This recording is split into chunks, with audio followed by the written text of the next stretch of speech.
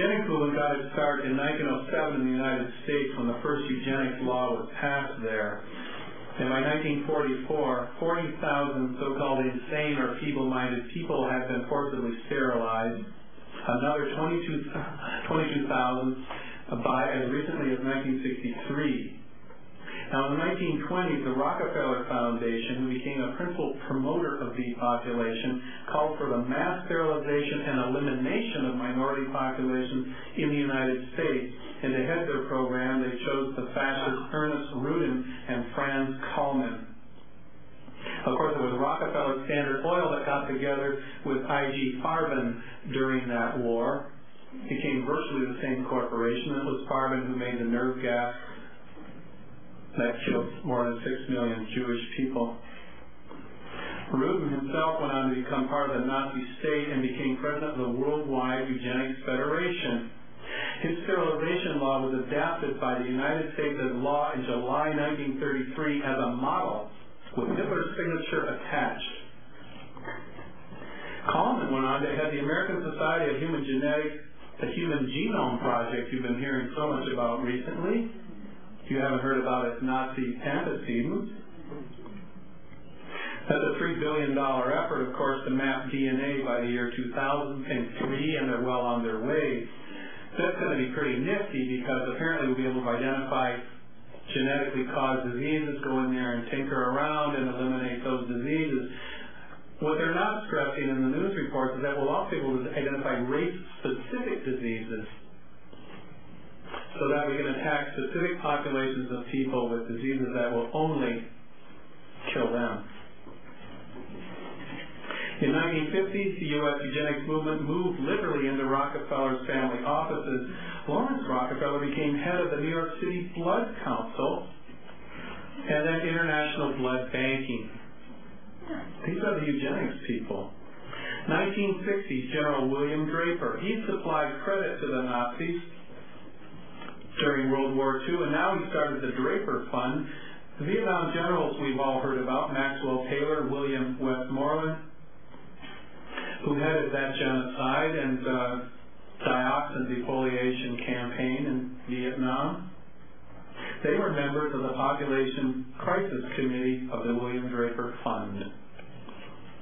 In 1964, the former commanding general, U.S. Army Chemical Corps, listed bioweapons favored by the U.S. military. There's a long list. I won't go into it, but let's note brucellosis, influenza, Rocky Mountain spotted fever. Congressional investigations in 1977 and 1994 documented 50 years of biowarfare experimentation, as I mentioned earlier. 1969, a man named George Bush son of eugenics advocate and Nazi bankroller Prescott Bush, this is all documented, by the way, chaired a committee urging world population control. Just one year later, Henry Kissinger, National Security Advisor to President Nixon, issued National Security Memorandum 200 calling for a reduction of the populations of the lesser developed countries, that is the growth rate, by half by half. He said we have to depopulate 14 countries or the U.S. will face a crisis worse than nuclear war. Kissinger said we can decrease the birth rate or increase the death rate. It's too bad he said we can't use nuclear weapons. It's a little obvious, but we have something even better. In fact, it was Kissinger who took the U.S. biowarfare program underground when Nixon publicly outlawed it and declared the U.S. was getting out of the biowarfare business. Kissinger made sure that program continued.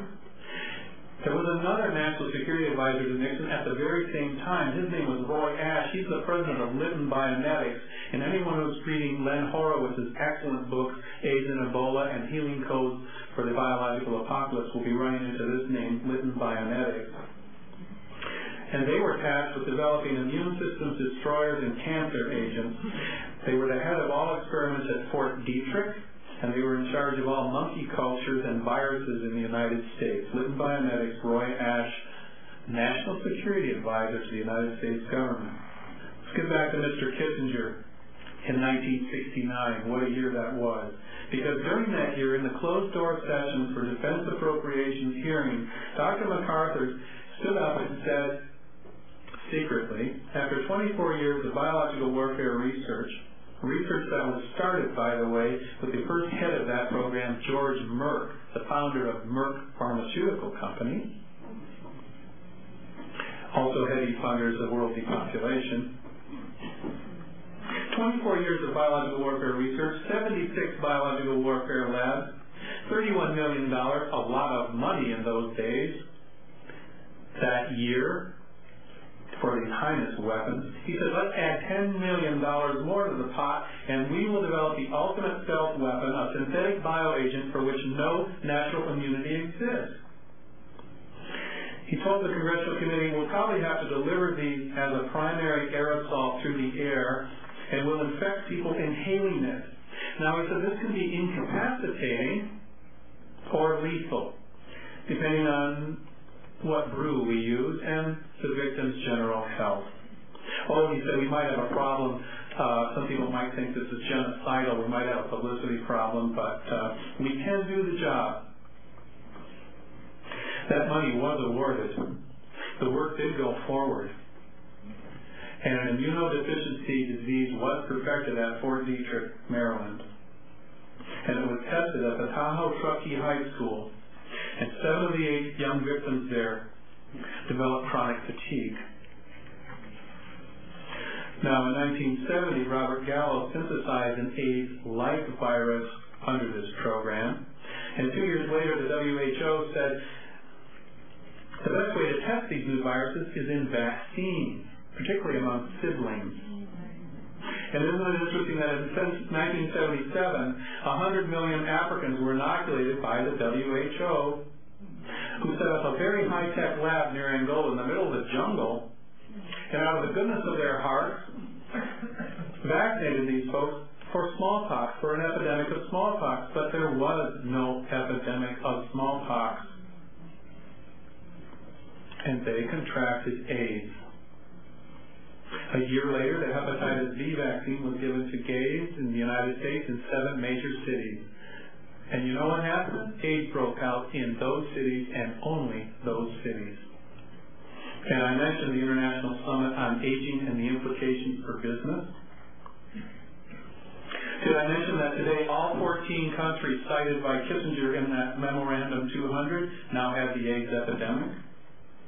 5,000 people a day are dying in Africa, according to the U.S. Census Bureau, which predicts that AIDS will be bigger in Asia even than Africa. Talking to nurses across the United States, anecdotally, we have an increase in the death rate among the elderly in hospital wards of roughly 4, 5, 6% following these chemtrail attack on our cities and communities. A number that is not going to be bodies piled in the streets.